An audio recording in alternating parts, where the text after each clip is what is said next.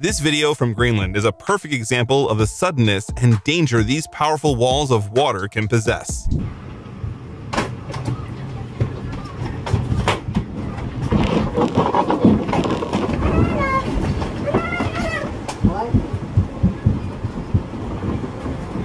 After the first wave hits, several more follow. There is a second, third, fourth, etc. But none of them were quite as strong as number six.